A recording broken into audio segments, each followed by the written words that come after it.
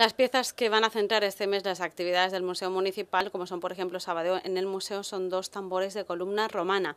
Fechadas entre el siglo I a.C. y el primer siglo de nuestra era, las piezas se hallaron en una finca de la familia Gallardo Reyes en los años 60 por miembros de la comisión organizadora del museo.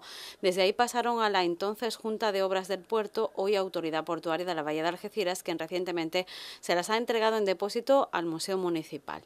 En el proceso de recuperación de estas piezas ha destacado el trabajo de la Asociación de Defensa del Patrimonio Histórico y Natural de Algeciras, La Trocha.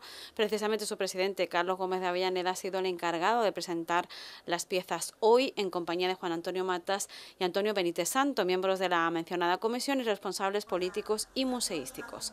La delegada de Cultura, Pilar Pintor, ha querido destacar la colaboración en defensa del patrimonio entre ciudadanos e instituciones para preservar piezas como las expuestas y Gómez de Avellaneda ha narrado las características de las mismas pues es una demostración, como decíamos antes, de esa colaboración estrecha, y ahora lo decía también nuestro alcalde, que es importante lo que se promueve directamente desde el ayuntamiento y en este caso desde la institución museística, pero el contar con la colaboración de colectivos de defensa del patrimonio.